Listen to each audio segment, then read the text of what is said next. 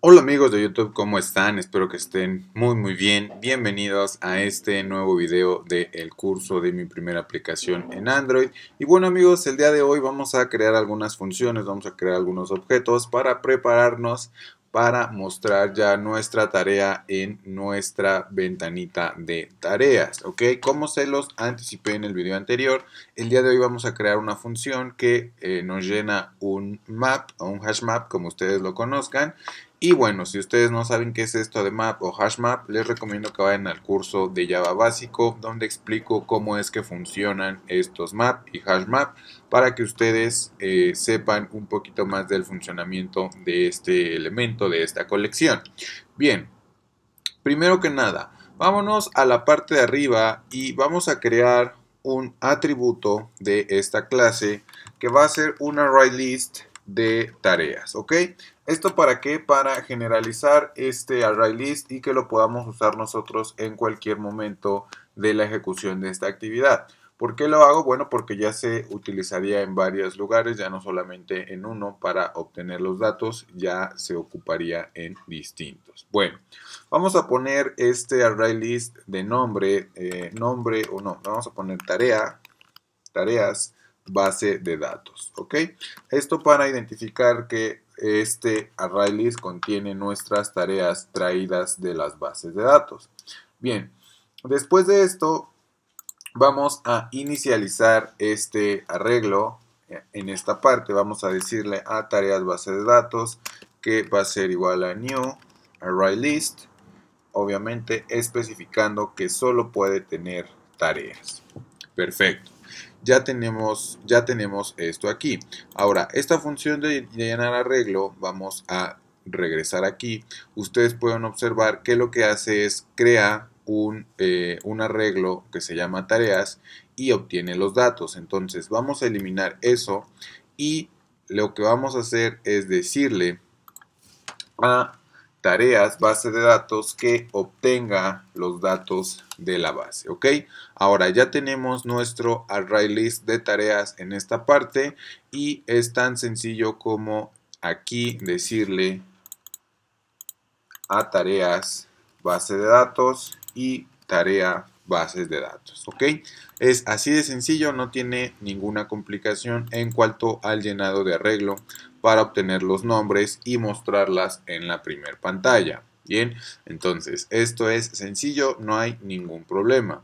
Ahora viene lo interesante, nosotros necesitamos crear una colección de tipo map o hash map que nos va a permitir almacenar el nombre de la tarea junto con el ID de esa tarea.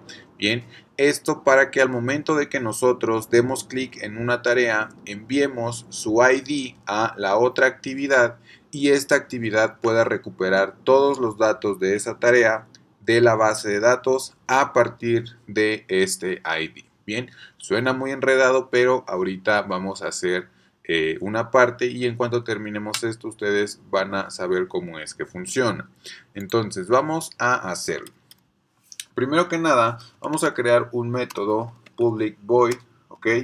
Llenar mapa, vamos a, vamos a nombrarlo y vamos a dejarlo aquí. Ahora, nosotros ya sabemos que dentro de este array de tareas bases de datos traemos todos los registros de nuestra base de datos. Entonces, lo que vamos a hacer ahora es crear un mapa. Vamos a crearlo en esta parte de aquí Vamos a poner map, ¿ok? Vamos a decirle que su llave va a ser un string y su valor va a ser un entero. Bien, ahorita, ahorita vamos, vamos a ver por qué. Bien, es un integer y le vamos a poner mapa de tareas. Perfecto. Ahora, ¿por qué su clave va a ser un, una cadena y por qué el valor va a ser un entero si normalmente esto es al revés? Bueno, porque la clave con la cual nosotros vamos a acceder a ese a esa, a esa tarea, perdón, a ese valor es el nombre de la tarea y el entero va a ser el ID de nuestra tarea, ¿ok? Lo repito nuevamente. La clave con la que vamos a acceder a nuestro valor va a ser el nombre de la tarea y lo que vamos a obtener a través de ese nombre, vamos a, obtener el ID de esa tarea, que este ID es el que nosotros vamos a enviar a la otra actividad para que eh, nosotros podamos obtener sus datos. Bien, vamos a hacerlo. Primero que nada podemos observar que eh, ya tenemos creado nuestro método y para poder llenar ese método necesitamos sacar los datos de, del arreglo que ya tenemos arriba. Entonces vamos a crearlo con un for, bien.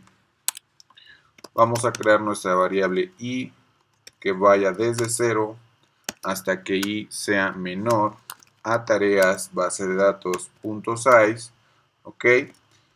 Le decimos que i tenga una razón de incremento positiva y aquí viene lo interesante cada que encuentre un valor que está dentro de nuestro arreglo de los registros, vamos a setear, es decir, vamos a agregar una clave con su, con su nombre a nuestro mapa. Entonces, nuestro mapa se llama mapa tareas. Vamos a decirle que ponga con la llave, ojo, aquí viene lo importante, llave y valor. Ahorita, ahorita se, lo, se, lo, se los voy a explicar y eh, pues obviamente esto va con punto y coma. ¿Cómo obtenemos la llave? Bueno, la llave la vamos a obtener a través de tareas bases de datos punto get index, en este caso el index vamos a utilizar la i y vamos a encadenar nuestro método de get nombre, ¿ok? Es así de sencillo. Ya estamos obteniendo todas y cada uno de los nombres que tenemos dentro de del arreglo de tareas bases de datos y estamos obteniendo el nombre.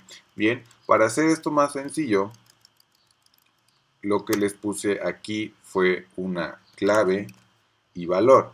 Entonces vamos a hacerlo, perdón, no era clave, era una llave. Vamos a hacerlo de esa forma. Vamos a crear un string que se llame llave y vamos a crear un entero que se llame valor. ¿Ok? A llave le vamos a decir, mm, ok, no, no lo podemos hacer de esta forma, discúlpenme ustedes, ya que sí tenemos que ir obteniendo todos y cada uno de los valores. Entonces vamos a hacerlo así. String, llave, lo dejamos así, int, valor, y dentro de nuestro arreglo vamos a poner que llave va a ser igual a tarea base de datos punto get index, le decimos que obtenga el index de i, punto get nombre, ¿ok?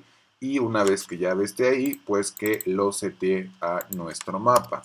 Después hacemos lo mismo con valor, igual a tarea base de datos, punto get index, ¿ok? Le damos el i que está dentro de nuestro ciclo y obtenemos el ID de nuestra tarea, ¿ok? Entonces, con esto, con, este, eh, simple, con esta simple función, nosotros ya estamos obteniendo, eh, más bien llenando dentro de nuestro mapa todas las tareas junto con su ID. Bien, entonces, ¿qué es lo que vamos a seguir haciendo? Bueno, vamos ahora, cuando nosotros demos un clic dentro de nuestra tarea, que nos devuelva el ID de esa tarea, ¿ok? En este caso, si yo le doy clic aquí, estoy dando clic en la posición 0 de mi, de mi lista, pero lo que yo requiero es que me devuelva el ID de la tarea, no la posición en la que me encuentro. Bueno, ¿cómo lo vamos a hacer? Vamos a nuestra listworks.set on item click listener. Vamos a crear un new on item click listener para que podamos nosotros agregar ese evento a esa lista y podamos obtener ese, ese, este, ese ID, ¿ok? Vamos a crear un string que va a ser ID, ¿ok? Solamente vamos a dejarlo así y vamos a crear un toast, toast, ¿ok? Este string lo voy a crear arriba para que no tenga ningún problema. Aquí, string ID.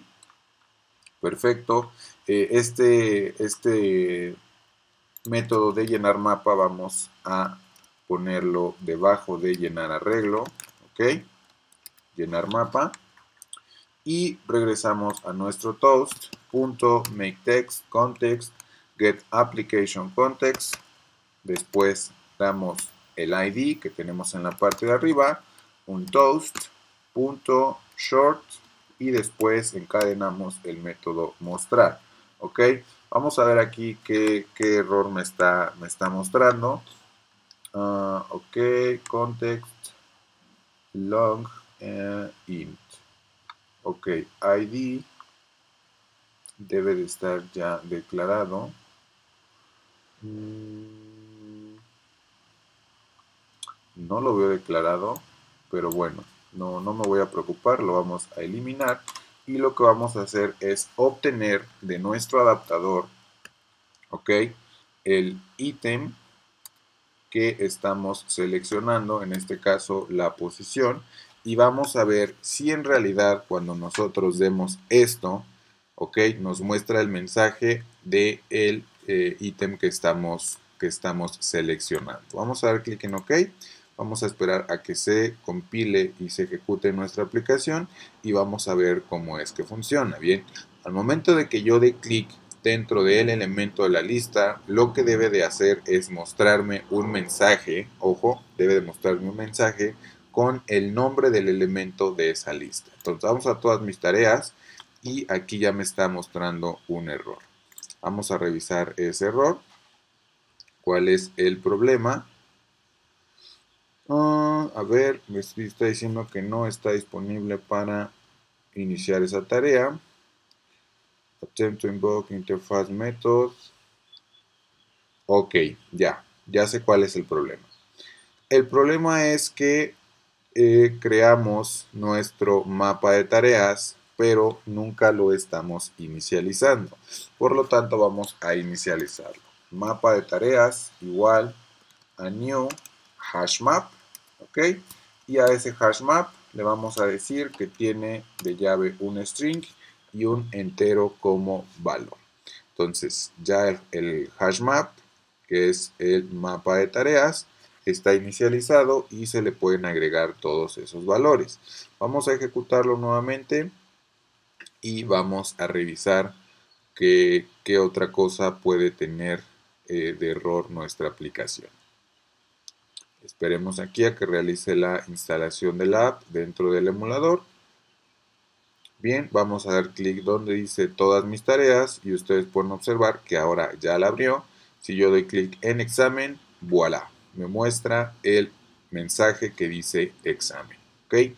Entonces, ya con eso nosotros vamos a poder obtener, ojo, vamos a poder obtener nuestra posición de nuestro mapa. ¿Cómo lo hacemos? String, vamos a poner aquí nombre, vamos a dejarlo ahí. Ahora, dentro de esto, a nombre le vamos a decir que obtenga el valor de adapter punto y le vamos a dar la posición ojo es exactamente lo que estamos haciendo acá de hecho creo que esta cadena la podemos crear aquí sin ningún problema para que no esté fuera y ahora lo que vamos a hacer es obtener el valor de nuestro mapa ¿cómo lo hacemos? bueno mapa tareas punto get perdón, no es punto .get, es punto... Mm, no, sí, sí, sí, sí, sí es get, punto .get, y lo que me solicita es una llave, como ustedes eh, se pueden dar cuenta. Bien, entonces si yo le doy get, le envío el nombre, esto automáticamente me va a devolver un entero. Bien, ¿Cómo, ¿Cómo, vamos a saber que nos está devolviendo el ID? Bueno, vamos a crear una cadena aquí y lo que vamos a poner es id y vamos a concatenar esto que acabamos de poner aquí solo para saber si nos está devolviendo nuestro id de manera correcta bien vamos nuevamente a ejecutar nuestra aplicación esperemos a que realice la compilación realice la ejecución y en teoría esto debería devolvernos el id de nuestra tarea número 1. Vamos a revisar todas mis tareas. Si yo doy clic aquí, voilà, tenemos ID 1. Ahora, Vamos a regresar, vamos a agregar una nueva tarea que queremos que se llame como sea. No, no tenemos aquí ningún problema. Vamos a agregar una descripción. Damos clic en guardar, nos muestra que la tarea se agregó correctamente. Voy a todas mis tareas y si doy clic aquí, voilà, tenemos nuestro ID número 2. ¿ok? Bueno amigos, pues ya eh, estamos obteniendo los IDs de nuestra base de datos. Ojo, les explico, todo esto lo pudimos haber hecho de otra manera creando una clase externa, un adaptador personalizado, pero para hacerlo yo un poco más fácil con elementos sencillos que ustedes ya han visto en el curso Java básico, eh, decidí hacerlo con un mapa, ya que pues es lo que nos ayuda a eh, pues este tipo de casos. Bien, ustedes pueden hacerlo de la manera que ustedes quieran. Yo simplemente les estoy eh, enseñando algunas posibilidades que les vuelvo a repetir. Hay una manera más sencilla o más correcta, mejor dicho, más correcta de hacerlo, que es a través de un adaptador personalizado. Pero bueno, eso ya lo veremos en otro, otro lado. ¿ok? Entonces, amigos, pues hasta aquí el video del día de hoy. Ya tenemos nuestro ID de nuestra, este, de nuestra tarea. Ahora lo que nos resta es enviar ese ID a nuestra actividad y cuando tengamos ese ID dentro de esa actividad, pues podemos obtener los datos de nuestra tarea para mostrarla correctamente. Entonces, espero que este video les haya gustado amigos, espero que les haya ayudado. Ya saben, las dudas aquí debajo en la red, en la, en la caja de comentarios, perdón o también pueden enviarla a las redes sociales para que yo las responda un poco más rápido. No olviden, amigos, de verdad nos ayudan muchísimo suscribiéndose, dando su like, con eso ayudan demasiado y nos vemos en el próximo video. Bye.